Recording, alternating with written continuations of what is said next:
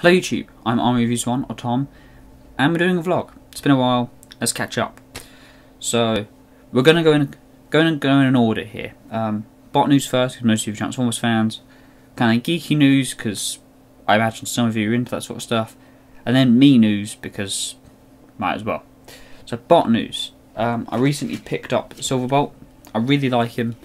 Surprised that I like him, um, because he does literally turn into a plane with a robot underneath because you can do that. But he's, he's still cool. I still like him. Like how he looks.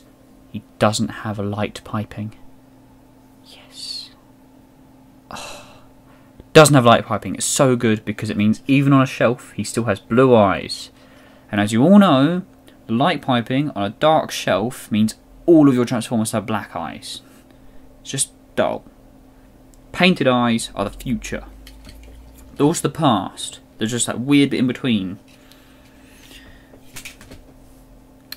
Still bot news, but not Transformers. Uh, in, in the year 2000, might be 2001, I think it was year 2000, uh, I saw my first ever series of Power Rangers Lightspeed Rescue.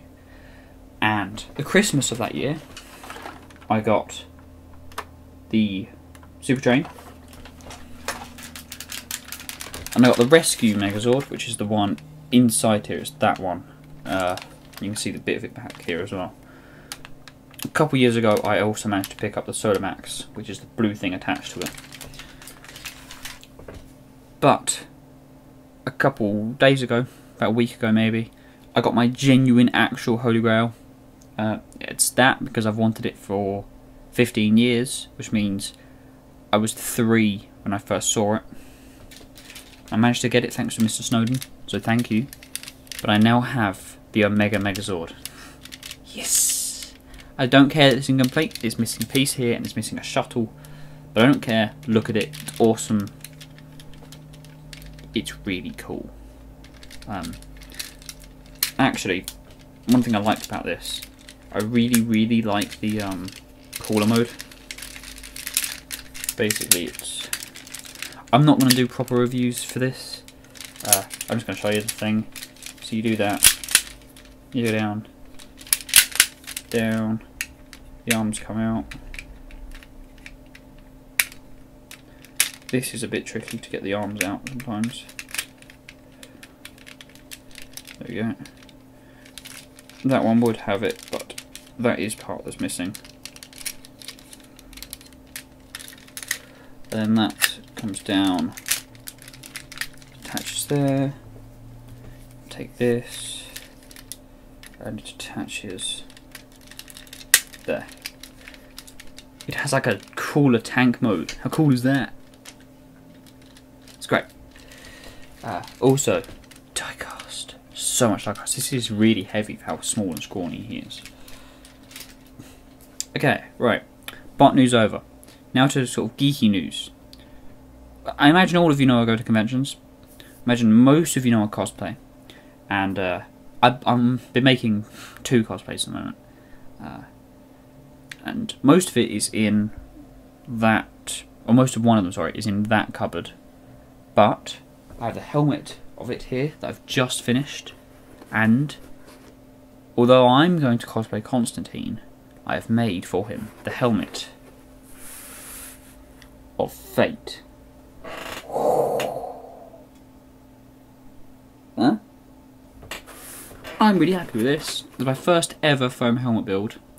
By that, that's to excuse the kind of lines. They're not perfect seams. Um, it's not perfect by any means, and the eyes are slightly different. But as my first ever foam helmet build, I'm happy with how that came out. And especially on camera, it looks really good. Like from a distance, when you can't see all the lines. Yeah, I'm happy with it. Really cheap to make as well, which I love. I'm also making another cosplay. This one is about 50% done. I've got to finish the other 50% in the next three weeks. So that's going to be fun. But it is Batman. I'm going to be Batman. Uh, it's based on the Dark Knight Returns and Batman vs Superman suit, the armored suit. I've changed it a bit. Number one because as again as my first full armor build, still not great with this stuff. So I'm kind of doing basics and starting like Batman because like uh, in the movie the ears go straight up from here and then the crest is longer. But I'm happy with how it looks.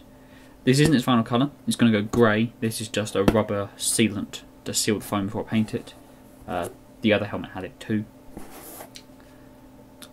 Yeah, I'm looking forward to having this done. Um, when it is done, you'll definitely see some of it. There's going to be Batmobile MCM. The Arkham Knight Batmobile. I'm definitely going to get a picture with this in the Batmobile. Still on geeky news. Um, this is kind of a bit of a whole video. Uh, I'm, I'm, I'm, just I just want to talk about it. Um, I've read like loads of graphic novels recently.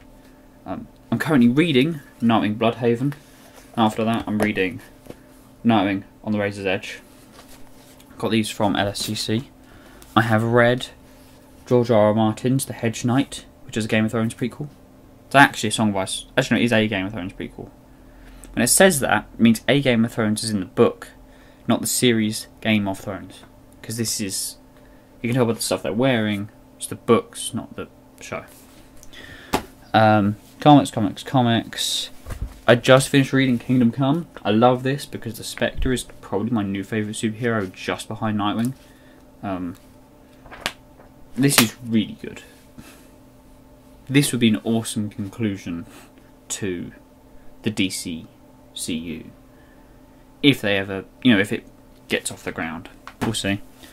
I think that's actually most of my graph. Oh no, no, no, one more. This isn't from LSCC, but it's one I got around the same time. I've read The Spectre, um, Volume 1. So good. I love The Spectre so much. And look how pulpy it is. the smell of pulp pages. Still on a little bit geeky news, I'm relating to one of those. Um, I am actually, just on my phone, currently listening to an audiobook of A Game of Thrones. I am three and a half hours into it, and it's a 33 hour book. So that's going to be fun. Um, actually, it is going to be fun. I'm currently halfway through chapter 10, which is Jon's second chapter. I'm enjoying it. Uh, it makes my, my hour walk home from college a lot more interesting. Finally, bit of uh, me news. Still actually geeky because everything about me is. Um, doing college, obviously doing media. Um, the audio should be better on this actually because I'm using a Zoom H4n microphone, which isn't mine, it's borrowed from college, and I've got it because of what I'm doing on the weekend. The audio is not going to be as good as this from after this video. It's just what I've got this, I might as well use it. Um, this weekend, I'm recording a small documentary about uh, the owner of my local comic shop, uh, and that's what this is for. It's going to be fun. Um, you will see it because it's going to be uploaded to My Street Films, the competition. Um, it will be on the Vox Office channel as well.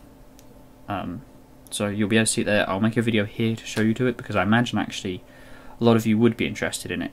It's the focus of it's not on the shop itself. It's not meant to be an advert. It's about turning the passion into the job. Uh, seeing how someone, or seeing what someone thinks when they turn from the fan into partly the creator. He did actually write a comic, um, but also you know to running a comic and comic shop and how that affects him and if it's brought him closer or further away to comics and tabletop gaming and stuff like that. So you'll see that. I'm looking forward to that. Um, I will try and do some more vlogs. Um, I quite enjoyed it. Just got to try and find things to talk about, you know. All right. So I'll see you next time, which is probably going to be uh, probably going to be after I've finished my documentary, which is called uh, "The Demon Behind the Grin." Because the shop's called the Grinning Demon. And I'll see you next time. Bye.